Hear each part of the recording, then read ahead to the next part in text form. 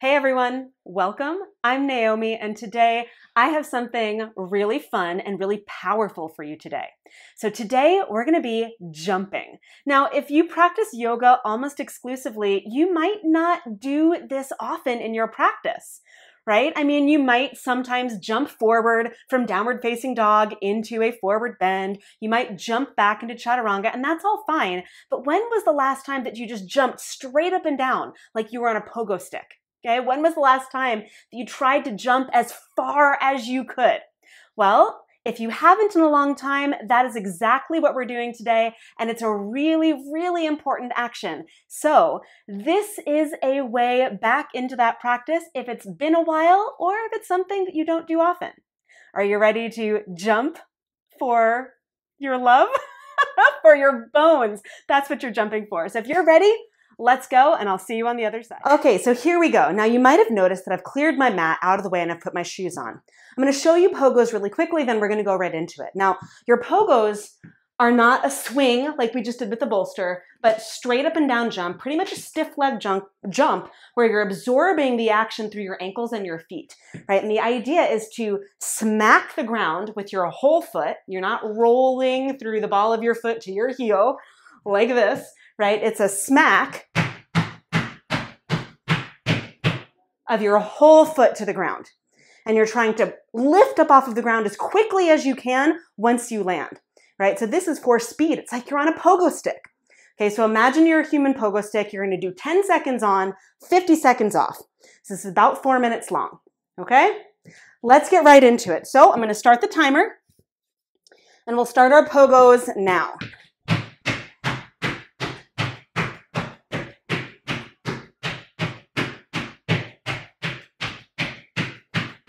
And that's it. Okay, that was 10 seconds. Now you get 50 seconds of rest. Now the reminder with this is that you're not swinging your arms. Your arms can be alongside your body or at your hips. Okay, if you need more of a break, if these jumps feel really intense, they're fairly low intensity jumps, but you're smacking your whole foot to the ground, so it might feel like a lot. You might feel leakage, right? If you are not jumping regularly, um, if your pelvic floor is not used to this, but this is actually fantastic work for your pelvic floor so that your pelvic floor can respond and adapt. Okay, so you're teaching your pelvic floor how to handle jumping. In the beginning, it might not feel like that, but that's what you're after. Okay, so you've got 10 seconds before our next round begins. So you can have your hands at your hips or alongside your body, totally up to you. But we'll get started now.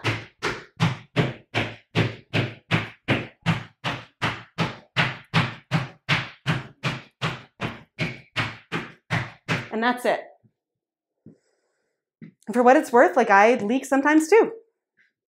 Because I haven't done these in a while, right? Part of the reason that I'm doing these is A, jumping like this is fantastic for building bone strength and bone density, okay? So jumping, super good for that. Okay, that's number one. But number two, also really great for your pelvic floor, really good for your whole body. Okay? But I haven't done these for a long time. I run and I don't typically leak when I run, but when I do these, I do because I don't practice this much. So this is as good for me as it is for you. Okay, and we're moving on. We've got about 10 seconds before our third round.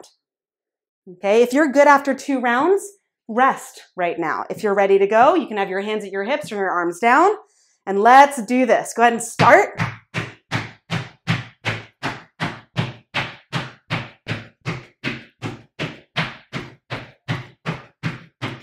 And that's it. Okay, the reminder is as you rest for about 45 seconds, the reminder is this is a stiff leg jump. You are jumping from your feet. Okay, you're not trying to try to absorb through your whole body, just through your ankles and feet and your Achilles. Okay. And if it feels like a lot, that's okay. It kind of is. All right. But you've got about 18 seconds before our last round. Okay. And if you're already done, if you feel like you've done enough, rest. Three rounds might be enough, particularly if you're new at this. But if you're ready, bring your hands to your hips or let them rest for our last round of jumping.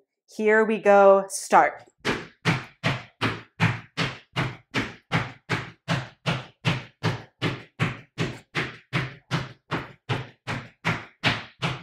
That's it. Done. Whew, okay. Now, our next jumps are really similar to a pogo, but instead of going up and down, you're going across, okay? So the idea, okay, and these are every 30 seconds, okay? So you're just gonna jump 10 straight across, okay? So it's gonna go like this. Or however many you can do across. I just did seven. We'll see if I, and you could do these in place too or make them smaller jumps. I was trying to go the distance, but you're really just aiming for 10 and then rest, 10 and then rest, okay?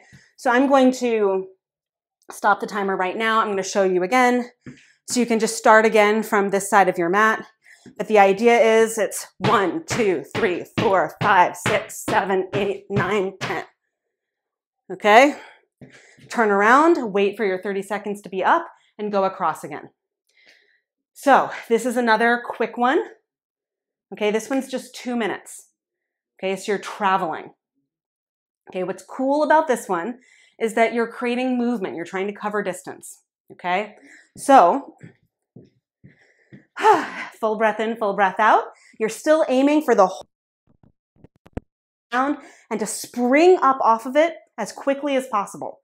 Okay, so once you make contact, you rebound right back up, right? So you're not trying to recoil and go up. We'll get to that. You're actually trying to pop up and down, pop up and down, pop up and down, but go the distance. Okay?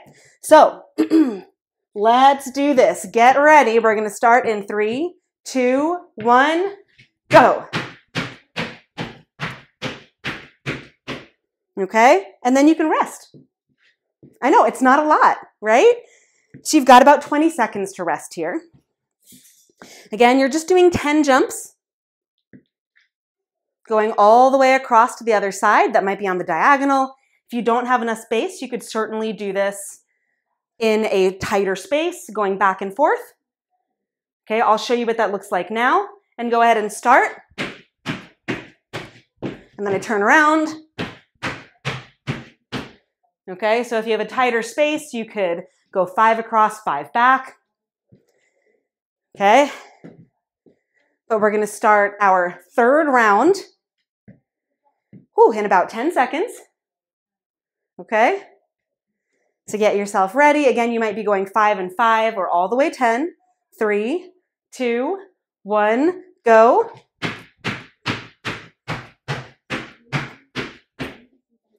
And you get to rest for 25 seconds. Cool. If you're doing it in time with me, you might have just finished, in which case you have 15 seconds. All right? We've got one more, and I'll do five and five this time too, just in case you need to see that, but this is the last one. Here we go, and you can start.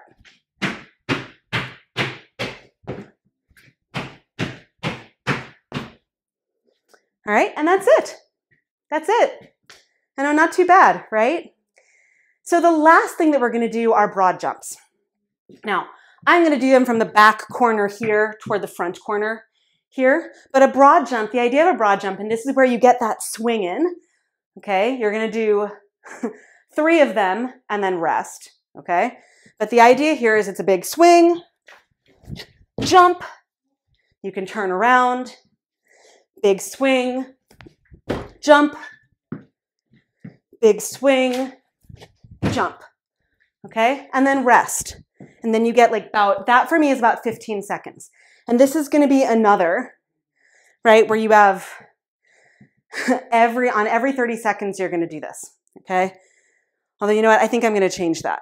Okay, so I'm gonna give you a little bit more rest for that. Okay, so you're gonna get 30 seconds rest. So it's more like every minute on the minute, you're gonna do a broad jump for four minutes, okay? So we're gonna get started in about 20 seconds. So I would say four jumps back and forth. I'm gonna modify that. Okay, so you're gonna do a big broad jump. I'm gonna pause this for just a sec to clarify, because I realized it wasn't particularly clear. What you're aiming for is distance, okay? Now, if that feels like too much, you can always bring back, okay, our friend the block and just hop over the block. Okay? So you can always just do a little hop, turn, hop, turn, and do that four times. So that's another really good option. Okay? But we're gonna get started, do our broad jumps, four minutes. Here we go. Okay? So you're gonna start in about 10 seconds. If you're using the block, make sure the block is in front of you and you're not going quite as far. Otherwise, you're aiming to go as far as you can. Okay, so let's do it. Big jump. Okay, and you're landing, big jump in that squat position. Right, big jump. Boom. Okay, and then one more. Big jump. And then you get to rest. Okay, and we're gonna rest for the remainder of the minute. And we're just gonna do two more cycles. So we're gonna do three full rounds. That is it. You get to rest, okay? So 30 more seconds of rest. I know. But it's really important because this is a bigger jump. And again, you're trying to land on your whole foot, right? So instead of rolling down, you're trying to land solidly. Okay? And that swing that we did earlier, that is going to help propel you. So your upper body is engaged too. Okay, second minute starts almost. Here we go. Now, okay, so you can get your swing on, boom. Okay, get your swing on, boom. So I'm trying to jump to my plant from one corner to the other. Swing on, boom. One more, swing, boom. Okay? Now, what can be really helpful here is you could actually, while we're waiting, is you could say to yourself, if you like these long jumps, but you don't really know how far to jump, you could set that block out in front of you and say, I want to jump as far as I can past the block. So you could place it at a moderate distance instead and say, can I jump past that block? And that might be a really great way to say to yourself, this is how I'm testing my distance okay? For me, it's how far can I jump? You could place that block there and say, how far past the block can I jump? And that can be a good target. But this is our last round. Let's go. Four jumps. Big swing, jump. Big swing, jump. Big swing, jump. Big swing, jump. And that, my friends, is it actually. So you can just take a few full breaths in and out. If you enjoy, thank you so much for taking a leap an actual leap, and joining me for this jumping practice. Now, what you saw today was part of a practice that I filmed for my online studio, Move with Naomi, because in June of 2023, we are focusing on the action of jumping in all of the classes that I'm teaching, whether they're pre-recorded or live. And the reason that we're doing that is that impact training also known in some circumstances as jumping, is so important for the health of your bones. And it's something that, quite honestly, we don't do often enough, particularly if you practice yoga almost exclusively. So, I hope that you enjoyed this sort of introduction into using a few different jumps to build and scale your jumping practice, but also to reintroduce your body to a level of impact that it might not have seen for a long time.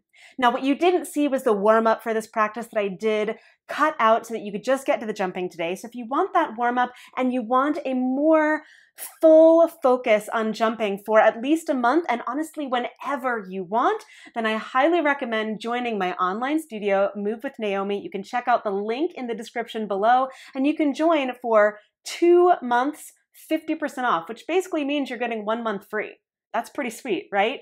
So we will be focusing on jumps all month long in June. So whenever you join, whether you join now, right before June 2023, which is when I'm filming this, or whether you join later, you will have access to all of these videos for as long as you are in the studio. So whether I see you back here on the mat on YouTube or whether I see you in my studio, I am so grateful that you're here. Thank you so much for jumping with me, and I will see you back again soon. Until then, bye.